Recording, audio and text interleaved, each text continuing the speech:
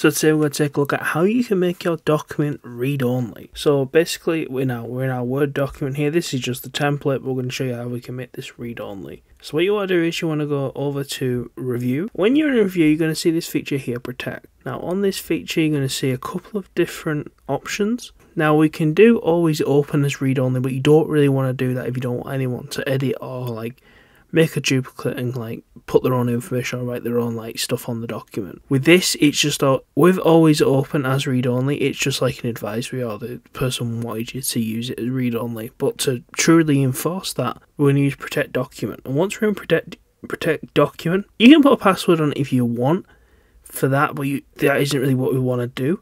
What you want to do is come down to here to protection, and we want to click this. We want to click. We want to protect the document. We want to click read only. And then we do want to put a password on it because that's going to stop it from being altered. We just set the password as password. So we set our password as password. And all we're going to do is click OK.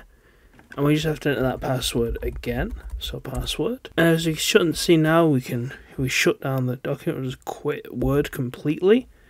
Click Save. And here is our document that we we're working on.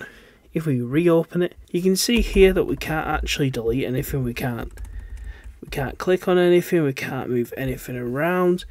And if we go over here to our review, back to protect, we want to disable this function. Let's say we're someone that doesn't want to, like, you know, wants to change this document. You want to take that off, you actually have to enter your password, so they can't change anything. And it's the same if they go and, like, save that document again. We'll just put, we'll just create another document, and we'll open that one up.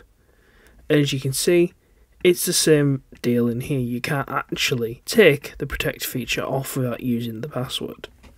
So we put the password in, there we are, and if we click OK, we can now edit the document. So that's how you enforce read-only on a Word document. Thanks for watching, please like and subscribe, and I'll see you next time.